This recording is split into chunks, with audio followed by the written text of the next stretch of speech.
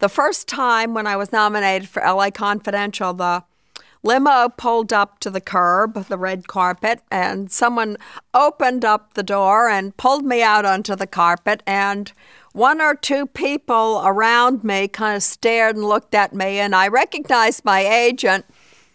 And I said, Hi, Phil. It was Phil Gersh. And he didn't recognize me.